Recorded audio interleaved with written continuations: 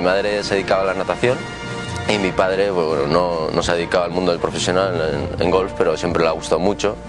Eh, pues en familia le viene alto nivel de su tía y todo, entonces estamos todo el día, o sea, llegas a casa y es golf, se habla de golf, eh, sales de casa y es golf también, eh, todo el día golf. Yo, yo empecé muy pronto, tenía dos años y medio, una cosa así, no sabía andar, estaba todo el día gateando y, so- y recordaba, solo podía pegar las bolas de colores. Entonces las pegaba, iba a gata, las cogía y otra vez. Entonces empecé así poco a poco, empecé a jugar torneos muy, muy pronto, la verdad, me saqué el handicap muy, muy pronto. Decidí, tuve que decidir un poco si balonmano o golf. Elegí golf y bueno, y desde ahí tomé la decisión de que me quería dedicar a ello y bueno, eh, encantado, no me arrepiento. Luego vine aquí a la Blume.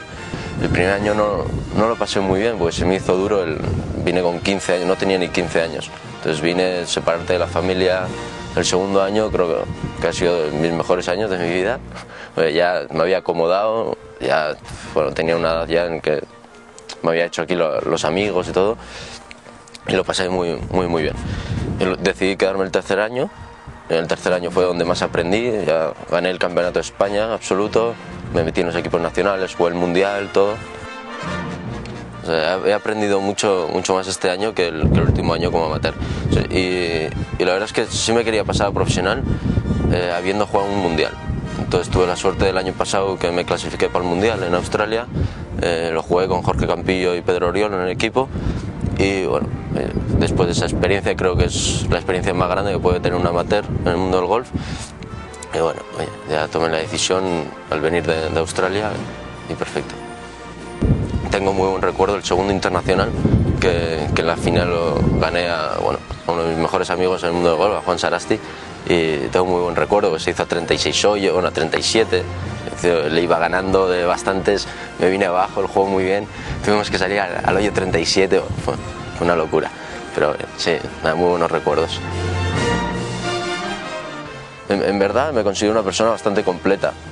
Me considero des- del tee una persona bastante recto y tirando a green bastante bueno. Lo que pasa que en los campos largos, cuando yo tengo un hierro largo y, y los pegadores tienen un hierro corto, ahí tienen ventaja.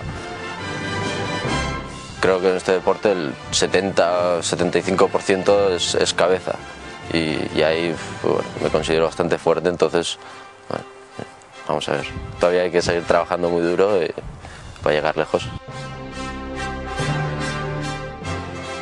Del profesional, pues al ser el primer año, bien Atalaya o bien eh, la final, son, son dos buenos torneos para recordar. Entonces, no sé, me quedaría con todos.